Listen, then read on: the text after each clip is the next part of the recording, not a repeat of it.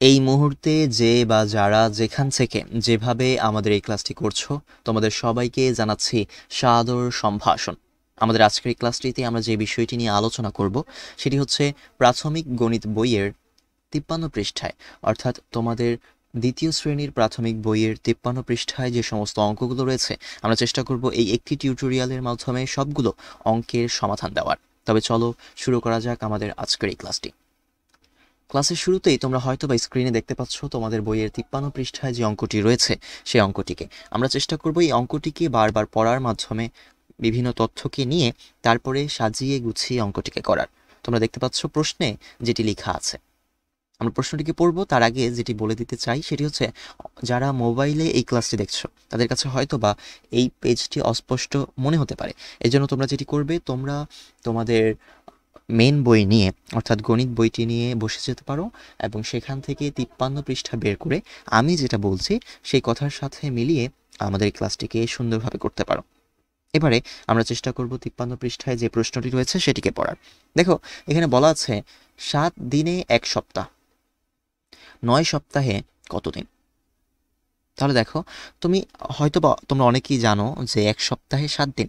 তাহলে প্রশ্ন হচ্ছে, নয় সপ্তাহে কতদিন কিন্তু শুধু একটু টেকনিক্যালি প্রথমে সাতটাকে লিখেছে, এক সপ্তাহ এটাকে পরে লিখেছে। অর্থাৎ প্রশ্নটি হয়েছে এরকম, সাত দিনে এক সপ্তাহ বা সাত দিনে এক সপ্তাহ, নয় সপ্তাহে কতদিন এটিকে আমরা কীভাবে সাজিয়ে গুছিয়ে অঙ্কটিকে করতে পারি। সে যদি সেটি যদি একটু তোমাদেরকে দেখাতে চাই, তাহলে আমরা প্রথমেই লিখব এক নং প্রশ্নের উত্তর। কেননা এখানে তিপ্পান্ন পৃষ্ঠায় শুধু একটি এখানে আমরা দেখতে পাচ্ছি এখানে তিপ্পান্ন পৃষ্ঠায় একটি অঙ্কই রয়েছে। এজন্য আমরা লিখব যে এক নং প্রশ্নের উত্তর।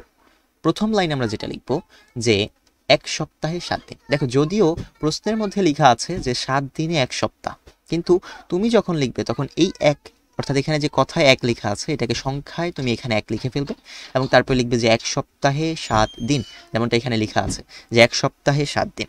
এবং প্রশ্ন যেহেতু বলা হয়েছে যে নয় সপ্তাহে কতদিন এজন্য তুমি যেটা করবে, এর পরের লাইনে এখানে নয় লিখতে হবে।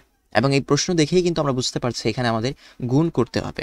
এজন্য আমরা পরের লাইনে যে নয় সপ্তাহে লিখব এবং সমান সমান দিয়ে বা সমান চিহ্ন দিয়ে এখানে গুণ অঙ্ক করার চেষ্টা করব। আমরা দেখাচ্ছি কীভাবে আমরা করতে পারি। আমরা লিখব নয় সপ্তাহে এখানে আমরা একটি সমান চিহ্ন দিব, আমরা ফার্স্ট ব্র্যাকেট বা প্রথম বন্ধনী দিব, তারপরে এই নয় আর এই সাত এখানে আমরা গুণ করব। এখানে তারপরে আমরা লিখব যে নয় সপ্তাহে সমান নয় গুণ সাত দিন। দেখো এইভাবে আমরা অঙ্কটিকে সাজাবো। তোমরা অনেকেই হয়তো অবগত আছো যে আমরা যখনই এরকম গুণ অঙ্কের ক্ষেত্রে বা যে কোনো অঙ্কের ক্ষেত্রে এক লাইন থেকে আরেক লাইনে যাই, তখন অতএব চিহ্নটা লিখি। অর্থাৎ তোমরা চাইলে কিন্তু এখানে তিনটি ডট দিয়ে অতএব চিহ্ন লিখতে পারতে, কোনো সমস্যা ছিল না। ওকে? তো ওইভাবে করলে হয়। আচ্ছা এখন আমরা এটাকে ক্যালকুলেশন করব। দেখো, এটাকে দেখেই অনেকেই হয়তো বুঝতে পারছ আসলে এখন আমরা কি করব। এটাকে দেখেই আমাদের মনে রাখতে হবে যে এখন আমাদের নয়ের নামতা অথবা সাতের নামতাকে গুনতে হবে, যাতে আমরা এই অঙ্কটিকে সহজে সমাধান করতে পারি। তাহলে তোমরা জানো যে সাত নং তেষট্টি, এবং এজন্য আমরা এখানে তেষট্টি দেখতে পাচ্ছি, অর্থাৎ ছয়ে তিন, তেষট্টি এটি হচ্ছে আমাদের এই এক নং প্রশ্নের উত্তর। এবং তোমরা যারা এর আগে আমার ক্লাসগুলো করে এসেছ, তারা অবশ্যই এটাও জানো যে যখনই আমরা বিভিন্ন কথার অঙ্ককে সমাধান করব, তখন আমাদের যেটা করতে হবে, এই অঙ্কগুলো শেষে একটি উত্তর লিখতে হয়। তো এই জন্য আমরা লিখব এই প্রশ্নটির, অর্থাৎ এক নং প্রশ্নটির উত্তর হচ্ছে তেষট্টি দিন। আশা করি তোমরা এক নং প্রশ্নটিকে বুঝতে পেরেছ।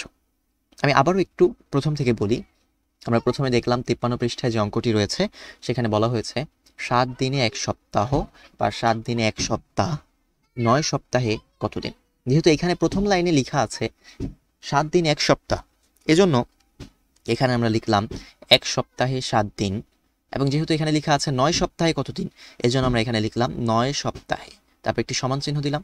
এখন নয়ের সাথে সাতকে কি করলাম? গুণ দিলাম। এখন দেখো, সাত নং কত? তেষট্টি। এজন্য আমরা এখানে তেষট্টি লিখলাম। অর্থাৎ গুণ অঙ্ক পাড়ার জন্য তোমাদেরকে অবশ্যই নামতাগুলোকে ভালোভাবে আয়ত্তে নিয়ে আসতে হবে। তোমরা চেষ্টা করবে একেবারে দুই থেকে দশ পর্যন্ত যত নামতাগুলো আছে, সেই সবগুলো নামতাকে যাতে খুব সহজে তোমরা মনে রাখতে পারো। যদি ওগুলো মনে থাকে, তাহলে অবশ্যই যে কোনো ধরনের গুণ অঙ্ক তোমরা করতে পারবে। তাহলে আশা করি তোমরা বুঝতে পেরেছ যে আমরা কি করেছি? আমরা নয়ের সাথে সাতকে গুণ করেছি, সাত নং তেষট্টি হয়েছে। যেহেতু এটি একটি কথার অঙ্ক, অবশ্যই সেটা, এটার শেষে একটি উত্তর লিখতে হবে। এজন্য আমরা লিখলাম যে উত্তর তেষট্টি দিন। শিক্ষার্থীরা, এবং এরই মধ্য দিয়ে আমরা আমাদের তিপ্পান্ন পৃষ্ঠায় যে অঙ্কটি ছিল সেটিকে সমাধান করলাম। আশা করি সম্পূর্ণ অঙ্কটিকে তোমরা বুঝতে পেরেছ সহজেই। কিন্তু তারপরেও যদি তোমাদের কাছে কারও মনে কোনো ধরনের প্রশ্ন থেকে থাকে, কোনো সমস্যা থেকে থাকে, অবশ্যই আমাকে এই ভিডিওর নিচে কমেন্ট বক্সে জানাতে পারো। আমি চেষ্টা করব তোমাদের যত ধরনের প্রশ্ন আছে, যত ধরনের সমস্যা আছে, সেই সবগুলো সমস্যা, সবগুলো প্রশ্নের সমাধান দেওয়ার। কিন্তু এতক্ষণ পর্যন্ত যারা ধৈর্য সহকারে সম্পূর্ণ ক্লাসটি করেছ, তোমাদের সবাইকে জানাচ্ছি অসংখ্য ধন্যবাদ। তোমরা জানো, আমরা আমাদের এই চ্যানেল থেকে প্রতিনিয়তই শিক্ষামূলক বিভিন্ন ভিডিও আপলোড করে থাকি। তো তোমরা চাইলেই আমাদের চ্যানেলের সাথে যুক্ত থাকতে পারো এবং এর পরবর্তী ক্লাসটি তুমি কোন টপিকের ওপরে চাও, কোন বিষয়ের ওপরে চাও, সেটিও কিন্তু আমাদেরকে কমেন্ট বক্সে লিখে জানাতে পারো। এবং আমরা চেষ্টা করব সেই অনুসারে আমাদের পরবর্তী ভিডিওটি তোমাদের কাছে পৌঁছে দেওয়ার। আশা করি তোমরা সবাই ভালো করে ক্লাসটি ক্লাসটি উপভোগ করেছ। তো দেখা হবে নতুন কোনো ভিডিওতে, নতুন কোনো ক্লাসে, নতুন কোনো টপিকে। সে পর্যন্ত সবাই ভালো থাকবে, সুস্থ থাকবে